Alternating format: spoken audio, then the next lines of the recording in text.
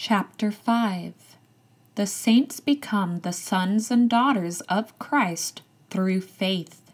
They are then called by the name of Christ. King Benjamin exhorts them to be steadfast and immovable in good works. And now it came to pass that when King Benjamin had thus spoken to his people, he sent among them, desiring to know of his people if they believed the words which he had spoken unto them.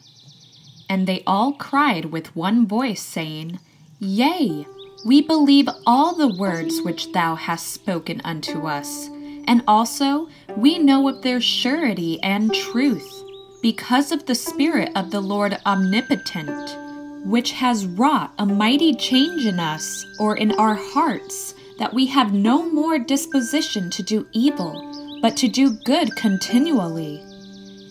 And we ourselves also, through the infinite goodness of God and the manifestations of His Spirit, have great views of that which is to come, and were it expedient, we could prophesy of all things.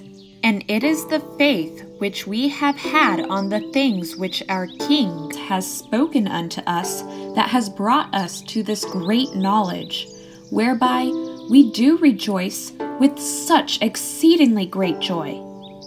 And we are willing to enter into a covenant with our God to do His will, and to be obedient to His commandments in all things that He shall command us, all the remainder of our days that we may not bring upon ourselves a never ending torment, as has been spoken by the angel, that we may not drink out of the cup of the wrath of God.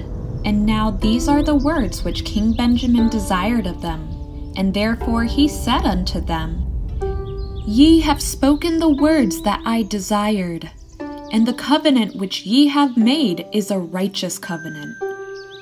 And now, because of the covenant which ye have made, ye shall be called the children of Christ, his sons and his daughters.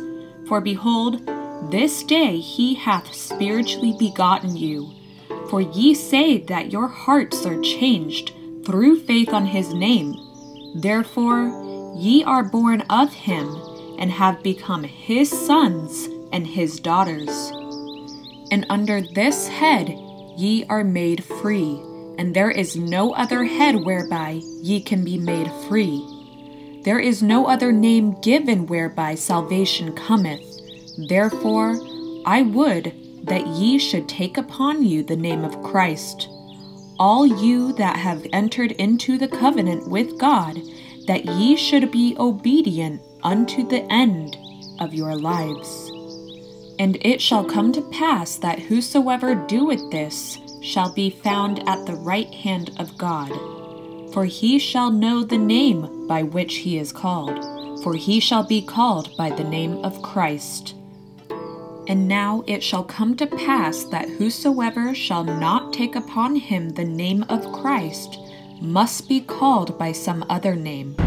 Therefore he findeth himself on the left hand of God.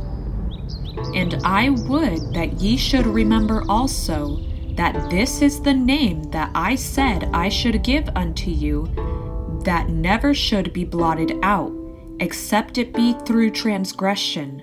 Therefore, take heed that ye do not transgress, that the name be not blotted out of your hearts.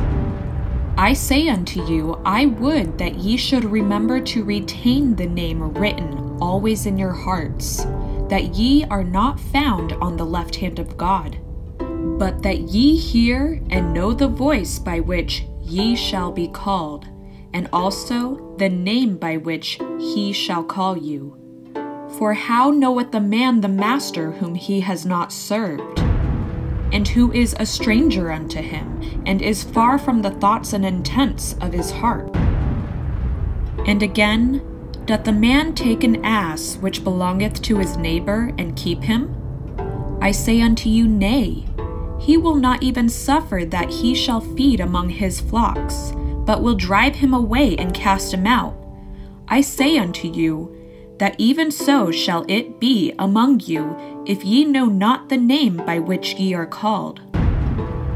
Therefore, I would that ye should be steadfast and immovable, always abounding in good works, that Christ the Lord God omnipotent may seal you his, that you may be brought to heaven, that ye may have everlasting salvation and eternal life, through the wisdom and power and justice and mercy of him who created all things in heaven and in earth, who is God above all.